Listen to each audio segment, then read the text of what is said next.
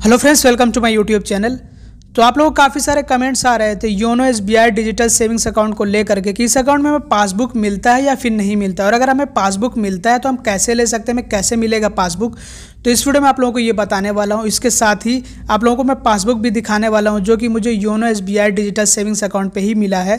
तो मेरे पास इस टाइम पर दो पासबुक हैं। अभी मैं आप लोगों को दिखाने वाला हूँ। और दो मेरे पास योनो डिजिटल सेविंग्स अकाउंट है। आप लोगों को बता देना चाहता हूँ कि एक मेरा अकाउंट और एक मेरे भाई का है। नहीं तो आप कंफ्यूज हो जाएँगे कि दो दो कैसे मैंने ओपन कर लिया। तो आप लोगों के पासबुक भी दिखाने वाला हूँ कि इस पासबुक में क्या कुछ इन्फॉर्मेशन क्या कुछ डिटेल्स हैं। और साथ ही साथ आपको ये भी बताने वाला हूँ कि आपको पासबुक कैसे मिलता है, कैसे दिया जाता है आपको पासबुक जब ये आप अकाउंट ओपन करते हैं तो। तो मेरा जो अकाउंट है, आप लोगों को बता देना चाहता हूँ कि लगभग दो साल पूरे हो गए हैं। और ये जो मेरे भाई ने अकाउंट ओपन किया है इसको मुश्किल से अभी एक महीने हुए होंगे। तो इसका अकाउंट अभी बिल्कुल नया है और मेरा अकाउंट जो है वो लगभग मैं आप, आपको एक अंदाज़ा बता रहा हूँ कि शायद कि उसको दो साल पूरे हो गए हैं। और ये मैं जैसा कि आपको दिखा रहा हूँ इस टाइम पे, ये मेरे भाई का पासबुक है और इसमें आप यहाँ पे देख सकते हैं अकाउंट टाइप में है रेगुलर सेविंग्स अकाउंट तो आप इसको देखकर कन्फ्यूज़ मत होइएगा। जो डिजिटल सेविंग्स अकाउंट होता है, वो भी रेगुलर सेविंग्स अकाउंट ही है एक तरह से। अब यहाँ पे आपको मैं क्लियर कर देना चाहता हूँ कि मतलब डिजिटल सेविंग्स अकाउंट का मतलब ये होता है जो आप ऑनलाइन अकाउंट अपना ओपन करते हैं। लेकिन ये जो डिजिटल सेविंग्स अकाउंट है ना, ये जो है आप एक तरह से ब्रांच से ही ओपन करते हैं। आप सारी डिटेल्स भले ही ऑनलाइन अपने मोबाइल फ़ोन में फिल करें, लेकिन आपको एट दिन ब्रांच विज़िट करना पड़ता है अपना अकाउंट एक्टिवेट कराने के अकाउंट नंबर लेने के लिए। और फुल के भी आपकी ब्रांच में उसी टाइम पे हो जाती है। बायोमेट्रिक फुल के होती है और इसके साथ ही साथ जो आपका सिग्नेचर वगैरह, उस टाइम पे जितना भी के का प्रोसेस है, वो ब्रांच से कंप्लीट कर दिया जाता है। और रेगुलर सेविंग्स अकाउंट का मतलब होता है नॉर्मल सेविंग्स अकाउंट या फिर जनरल सेविंग्स अकाउंट तो इसको लेकर ऐसे ज़्यादा आपको दिमाग नहीं लगाना है कि आखिर ये क्या है। और यहाँ पर आपको पासबुक भी दिखा दे रहा हूँ।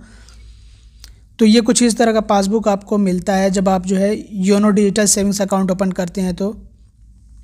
और इसके साथ मैं आप लोगों मैं बताना चाहूँगा कि मेरे भाई ने जो अकाउंट ओपन किया है तो उसमें दो हज़ार रुपये इनिशियल डिपॉजिट किए हैं। मतलब दो हज़ार रुपये डिपॉजिट करना पड़ा अकाउंट ओपन करने के लिए, जिसमें कि एक हज़ार रुपये वो जो इंश्योरेंस के काट लिए गए हैं डेबिट कर लिए गए हैं और बाकी एक हज़ार रुपये अकाउंट में पड़े हुए हैं।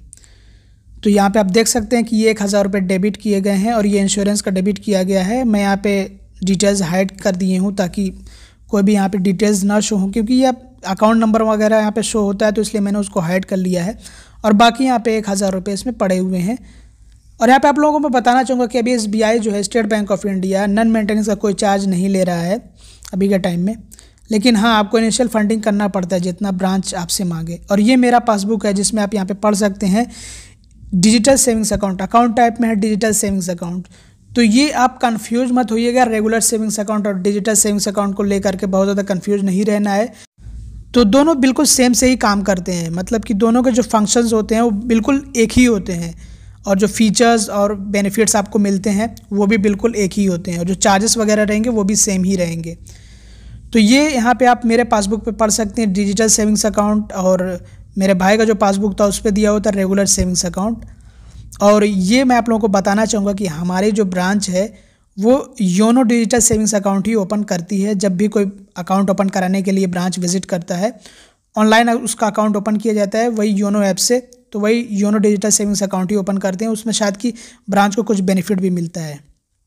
अब बात कर लेते हैं कि ये पासबुक आपको मिलेगा कैसे? तो जैसा कि आप लोग जानते हैं कि जब आप अपना अकाउंट ओपन कर रहे हैं, YONO S digital savings account तो अपनी पूरी डिटेल्स इंटर कर लेने के बाद आपको एक कोड दिया जाता है। वो कोड आपको अपनी ब्रांच में लेकर के विज़िट करना होता है।